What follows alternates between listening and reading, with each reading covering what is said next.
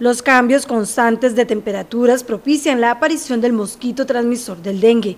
Sol en las mañanas y lluvia en las tardes generan que se acumule más el agua. Por esa razón, el Ministerio de Salud hace un llamado a la población para que saquen mínimo 10 minutos al día para revisar sus casas y eliminar todos los criaderos. Manuel Gutiérrez, funcionario de control de vectores, habló de este tema. La Aedes aegypti se, cría en aguas, aguas estancadas limpias.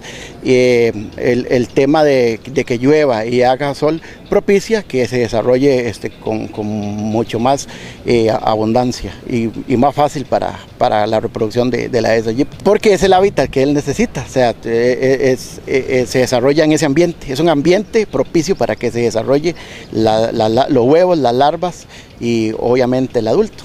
Y teniendo comida que es sangre del ser humano, entonces se desarrolla muy, muy fácilmente. Según el reporte de la institución, se contabilizan ya 181 casos sospechosos de dengue en Pérez Celedón. El repunte se dio en las últimas semanas pero muchos no consideran ese asunto como serio. Bueno, creo que aprendimos a convivir con, el mosquito, le damos, este, le damos desayuno, almuerzo, cena y, un postre de vez en cuando. El mosquito, mientras haya seres humanos cerca, y que le tengamos eh, su hábitat, o sea, criaderos dentro de la vivienda o en el patio, no se va a ir de ahí, va a convivir con nosotros. Y creo que el ser humano este, le perdió temor eh, creo que el ser humano eh, ahora le permite convivir y, es un gran error. Tenemos que eliminar los criaderos, tenemos que a toda costa este, no permitir que, eso suceda porque este, el dengue mata. En Costa Rica no pasa eso porque tenemos muy buenos servicios de salud y llegan a tiempo pero en otros países el dengue. De ahí que piden a la población estar muy atentos y unirse para que el mosquito no pueda reproducirse. Dengue, eh, Zika, chikungunya, fiebre amarilla, es el mismo Aedes aegypti, pero este, no debemos de bajar la guardia por eso, porque hoy tenemos dengue, mañana puede que tengamos Zika.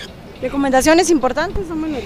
Eh, lo que decía, 10 minutos a la semana es lo que necesitamos, eh, visitar dentro y fuera de la vivienda todo aquel objeto que pueda llegar a ser un criadero que recolecte agua, eh, llegaría a ser en cinco días un, criadero potencial para que Aedes aegypti se desarrolle.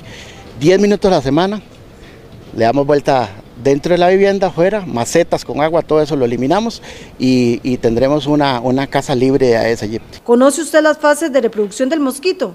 Don Manuel no las explica. Huevo, un huevecillo se puede pegar a, un recipiente eh, y puede durar más de un año ahí.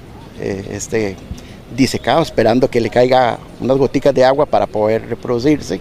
La fase de pupas, ¿verdad? La fase de pupas lleva eh, un proceso de, una semana para que salga adultos, ¿verdad? Esas, son las fases, fases acuáticas y después vendría la adulta, que es cuando el mosquito eclosiona de la pupa y, llega a ser adulto y ahí es donde necesita alimentarse de sangre para eh, obtener proteínas y así este, distribuir más huevecillos eh, para seguir su ciclo de vida y ahí es donde este, lamentablemente viene el proceso este de la infección de virus y empieza a transmitirle a la población. Las localidades donde se registra la mayor incidencia son Barrio Sinaí, Bajo Dorotea, Villa Ligia, Barrio Los Ángeles, Barrio San Francisco de Asís, Pedregoso, Barrio Boston y los distritos de Rivas y Pejivalle.